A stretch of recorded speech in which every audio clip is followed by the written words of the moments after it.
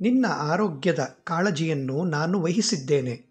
ಅದನ್ನು ಒಂದು ದಿನವೂ ಹಾಳಾಗಲು ನಾನು ಬಿಡುವುದಿಲ್ಲ. ಕಾಲಚಕ್ರ ಯಾವತ್ತೂ ತಿರುಗುತ್ತಿರುತ್ತದೆ ಎಂಬ ಸತ್ಯವನ್ನು ಯಾವತ್ತೂ ನೆನಪಿನಲ್ಲಿರಲಿ. ಹಾಗಾಗಿ ಯಾವ ಸಮಸ್ಯೆಗಳು ನಿನ್ನನ್ನು ಈ ಕ್ಷಣ ಕಾಡುತ್ತಿವೆಯೋ, ಅದು ಈ ಸಮಯದ್ದು ಮಾತ್ರ. ಬಹಳ ಬೇಗನೆ ನಿನಗೆ ಯಶಸ್ಸು ಸಿಗುತ್ತದೆ. ನನ್ನ ತತ್ವಗಳು ಅನನ್ಯವಾಗಿದೆ. ನನ್ನ ಮಕ್ಕಳಿಗೆ ತುಂಬ ಆಶೀರ್ವಾದಗಳ ಅಗತ್ಯವಿದೆ. ಅವರ ಭವಿಷ್ಯ ಸುಖದಾಯಕವಾಗಿರುತ್ತದೆ. ಹಾಗೆ ಮಾಡಬೇಕೆಂದು ನಾನು ಸದಾಕಾಲ ದುಡಿಯುತ್ತಿರುತ್ತೇನೆ. ಅದಕ್ಕಿಂತ ಮೊದಲು ನಾನು ಅವರನ್ನು ಪರೀಕ್ಷಿಸುತ್ತೇನೆ ಮತ್ತು ಅವರ ಕೈಯನ್ನು ಹಿಡಿದು ಅವರಿಂದ ಕೆಲಸಗಳನ್ನು ಮಾಡಿಸುತ್ತೇನೆ.